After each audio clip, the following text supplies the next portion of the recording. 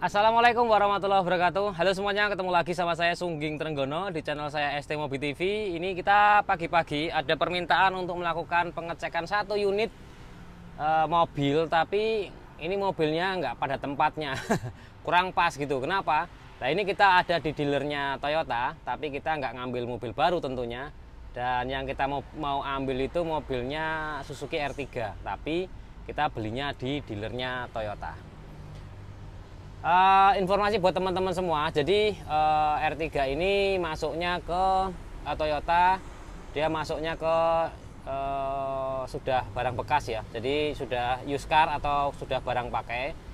Uh, kita nggak ngambil yang unit yang baru di dalam karena kalau unit yang baru di dalam itu nggak perlu pengecekan saya tentunya karena barangnya baru dan itu sudah garansi ada jaminan dan sebagainya lah. Nah kalau yang kita cek ini kan barang bekas jadi kita nggak tahu kondisinya sebelum kita melakukan pengecekan. Karena kadang juga kan ada juga mobil yang baru keluar dari dealer keluar jalan raya udah diserempet sama kereta diserempet sama truk sama bus gitu kan. Kita kan nggak tahu namanya mobil uh, udah dipakai gitu kan.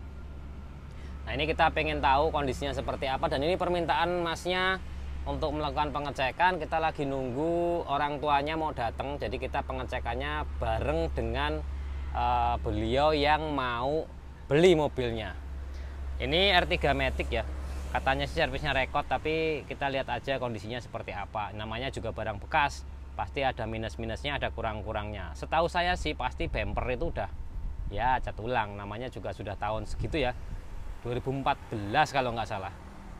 Kalau nggak salah ya tapi karena informasinya itu cuma ngecek R3 aja mas satu gitu. Kita lihat aja R3 nya yang dimaksud seperti apa dan kondisinya bagaimana. Lanjut kita cek ke Toyota ini walaupun dealernya Toyota tapi Toyota juga ngejual beberapa mobil-mobil bekas ya. Nah kalau pengen tahu kondisinya seperti apa ya tentu kita harus ngecek detailnya ya. Ya seperti ini. Namanya barang bekas loh. Ya seperti ini gitu ya. Kan kita kita beli itu harus tahu dulu nih. Toyota nih lembar kondisi kendaraan. Ini total skor keseluruhan B. Harganya 208 juta Honda CRV 2,4 AT 2014 ya. Terus lagi ini ada Grand Livina. Uh Grand Livina tapi lampunya burem-burem gini ya. Lihat kondisinya juga sama. 2014 SV 115 nah ini keterangannya istimewa ya barangnya ya nilai sendirilah. Teman-teman namanya juga barang bekas ya. Barang bekas istimewa. Istimewa ini barang bekas nah sekarang kita mau ngecek ih udah jazz nih udah jazz nih mantap nih jazznya nih. Jazz nih jazz nih mantap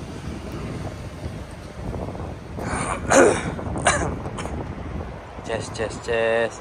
Jazz, jazz, jazz. Jazz istimewa. Bannya habis. Wah, enak nih.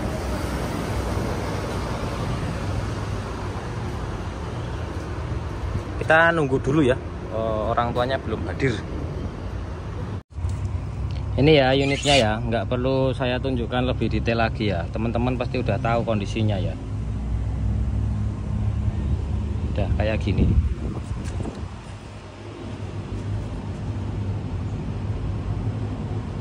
Ya mulai bocor-bocor rembes-rembes basah-basah.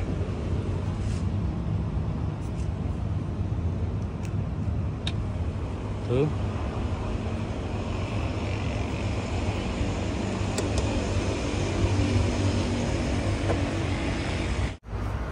lampunya. Banyak nih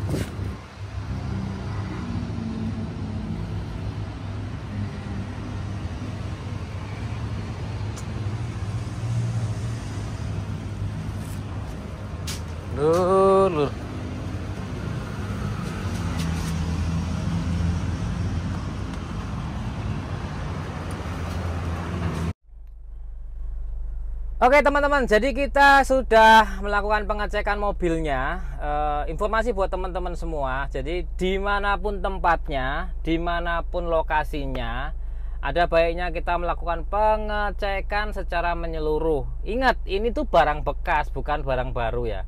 Jadi sebenarnya di tempat tadi kita ngecek itu saya sempat beberapa kali kalau nggak salah dua kali atau tiga kali ngambil unit di situ berburu beberapa kali berdasar sama orangnya juga gitu kan. Itu waktu itu pas masuk kebetulan gitu barangnya ya. Dan kali ini pas kurang pas dengan kondisi e, antara kondisi dengan harapan kita itu belum pas. Makanya e, sebenarnya kita tidak melihat tempatnya di mana atau apa namanya ya showroomnya seperti apa ndak. Tapi kita ngelihat berdasarkan e, kondisi fisik dari unit yang dijual tersebut gitu. Ay bes gitu ya. Jadi kita tidak uh, menjelek-jelekkan tempatnya tidak. Karena saya terus terang di situ pun beli beberapa kali gitu ya. Nah, itu bagus-bagus gitu. Nah kemarin ada permintaan beliau masih di luar negeri untuk melakukan pengecekan sama keluarganya eh, didampingi keluarganya untuk melakukan pengecekan mobil itu. Nah ternyata setelah kita kalkulasi setelah kita cek secara menyeluruh itu unitnya belum sesuai sama kriteria kita. Mungkin buat teman-teman semua ada yang sesuai kriterianya dengan kondisi seperti itu ya mungkin aja gitu. Tapi untuk kriteria saya unitnya itu belum masuk di kriteria gitu. Terus ya tadi itu saya sebutkan, saya sampaikan buat teman-teman semua di mana pun tempatnya kita tuh nggak patokan tempat deh.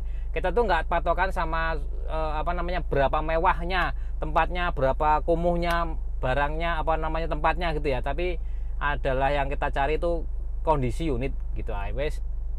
Jadi kalau kondisi unit oke surat-surat lengkap surat-surat tidak ada kendala nomor mesin nomor rangka aman unitnya aman baru kita nego ke orangnya.